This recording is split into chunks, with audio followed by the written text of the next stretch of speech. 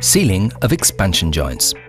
In the present example, an approximately 3 cm wide expansion joint is located between the ceiling of the carport and the garage.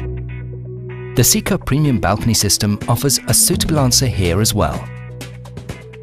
Masking tape should be applied on top of the joint sealant before application of the levelling mortar. This prevents contact between the cementitious grout and the elastic joint sealant.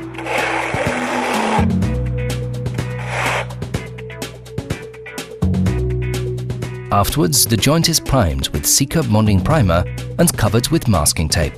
This is a prerequisite for separating the subsequent special joint waterproofing system from the first layer of the Sika Premium Balcony system.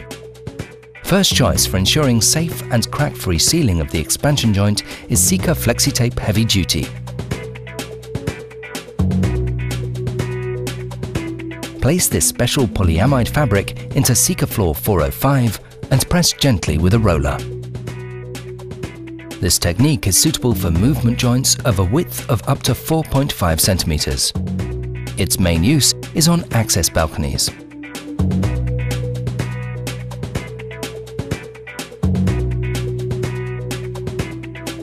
As soon as the coating has cured, masking tape is once more applied over the joint area.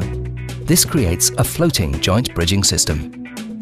Finally, apply another two layers of the service-proven Sika Premium Balcony system, and the joint is also waterproof.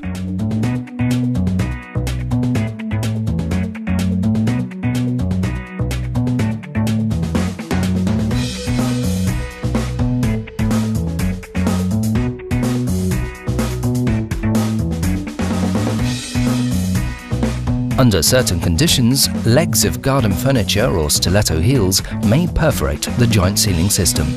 To provide a safe mechanical protection of the waterproofing coating, a stainless steel profile is fixed over the joint using Sikabond AT Universal Adhesive.